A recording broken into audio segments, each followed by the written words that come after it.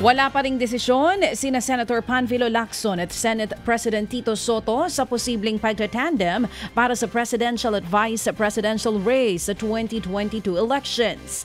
Sinabi ni Lacson sa programang ah, ito na patuloy ang konsultasyon nila ni Soto sa iba't ibang grupo. May ilang politiko na ang lumapit kay Lacson para hikayatin siyang tumakbo sa pagka-vice-presidente.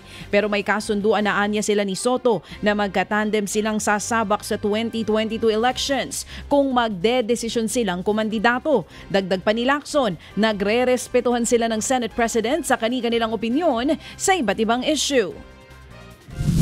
Maski tanungin mo si Senate President, no, nagkakausap naman kayo, Mm-mm. talagang walang desisyon. Mm-mm. Ang ginagawa namin ngayon, bukod sa discernment, yung pagkukonsulta ba doon sa mga nakakaalam at kung susuong kaming dalawa, kami nagkausap na kung sakaling tutuloy, magkasama kami, hindi kami maghiwalay.